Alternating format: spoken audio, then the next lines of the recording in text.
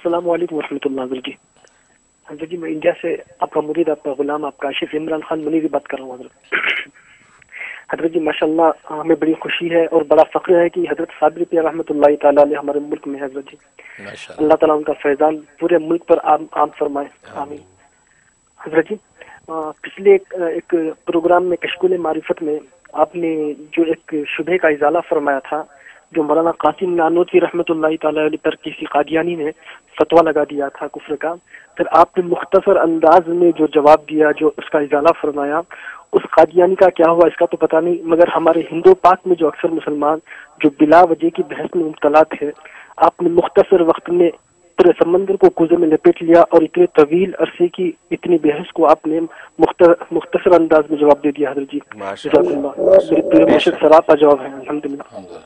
حضرت جی میرا سوال یہ ہے کہ جمعہ کے خطبے میں آپ نے جیسے فرمایا کہ اللہ تعالیٰ نے حضرت خضر علیہ السلام کو علم لدنی عطا فرمایا تھا۔ حضرت جی کیا یہ علم لدنی کی حقیقت کیا ہے؟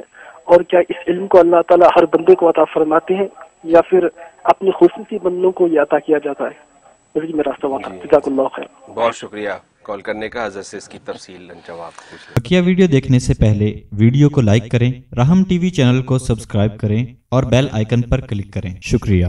ماشاء اللہ ماشاء اللہ عمران منیر صاحب انڈیا سے آپ کال کر رہے ہیں آپ نے اظہار محبت کیا اور خاص طور پہ جو ہے وہ جو شبہ میں نے دور کیا ختم نبوت کے حوالے سے حجو اسلام مولانا قاسم نانوتی رحمۃ اللہ علیہ پر اس کو آپ نے جو ہے وہ عقیدت کی نگاہ سے دیکھا اور اپریشیٹ کیا اور ماشاءاللہ دنیا بھر میں لوگوں کا یہ شبہ دور ہوا اور کوشش میں نے یہ کی نہایت اعتدار اور توازن کے ساتھ، علمیت اور حکمت کے ساتھ جو ہے اس کا جواب دوں اور ماشاءاللہ اللہ نے اس کو شرف قبول بخشا۔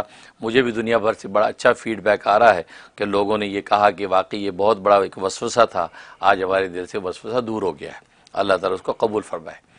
اور باقی آپ نے جو سوال کیا کہ علم لدنی، وہ جیسے حضرت خضر صلاحت والسلام کو عطا کیا تھا کہ ہر ایک کو مل سکتا ہے، نہیں، یہ اللہ کے خاص بندے ہوتے ہیں، اللہ تبارک و تعالی جس کو چاہے عطا فرمائے، کیونکہ اس میں استفاع اور اجتباع یعنی اللہ تبارک و تعالی کی چاہت کا دخل ہے، اللہ جس کو چاہتے ہیں علم لدنی عطا فرما دیتے ہیں۔ گویا کہ وہ علم کسبی تو باہر سے اندر جاتا ہے، علم لدنی اندر سے باہر ظاہر ہوتا ہے۔ کہ اللہ تبارک و تعالیٰ قلب کے اوپر یہ علم و حکمت اتارتے ہیں۔ چنانچہ حضرت خضر علیہ الصلاۃ والسلام کو بھی یہی علم لدنی اور علم وابی عطا کیا گیا تھا، جس میں کسب کا دخل نہیں ہوتا۔ کسب کا دخل نہیں ہوتا۔ ہاں کو خاص ایک تڑپ ہو، اس تڑپ کی وجہ سے اللہ اس بندے کو اپنا خاص بنا کر وہ عطا کر دے، وہ دوسری بات ہے۔ لیکن کسب کا دخل نہیں ہوتا۔ اور یہ بات بھی میں نے عرض کی تھی کہ ہر کسب کی بنیاد وہاں پر ہی ہے کہ انسان جب کسب کرتا ہے، کوشش کرتا ہے، تو اس کے بعد اللہ تبارک و تعالیٰ کو رحم آتا ہے بندے پر۔ تو اللہ تبارک و تعالیٰ اپنی علم کے دروازے اس پہ کھول دیتے ہیں۔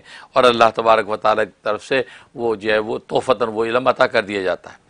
لیکن خاص یہ علم لدنی جو حضرت خضر صلاحت والسلام کو عطا کیا گیا تھا تو کہ خاص مقبولان الہی کو اللہ تعالیٰ یہ عطا کرتے ہیں ہر ایک کو نہیں ملتا۔